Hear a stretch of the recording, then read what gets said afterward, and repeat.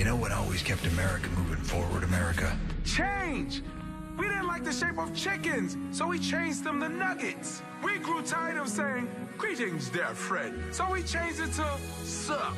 We changed man bands into boy bands. We gotta change that back. And sports drinks were boring, so we changed that with new MiO Fit, a sports drink with electrolytes you can flavor your way. Change your sports drink.